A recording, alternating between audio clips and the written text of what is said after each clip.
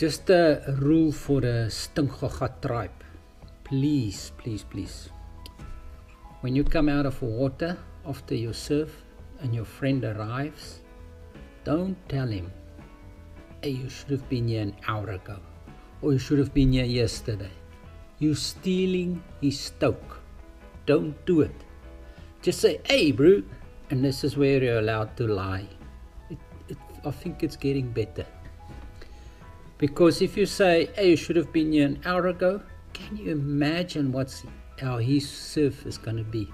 He'll paddle out there and he'll curse his children because he's late, or he'll curse his mother-in-law because he's late, or you you don't want to go down there, even his wife.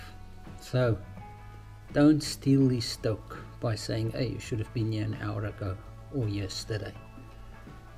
Don't do it.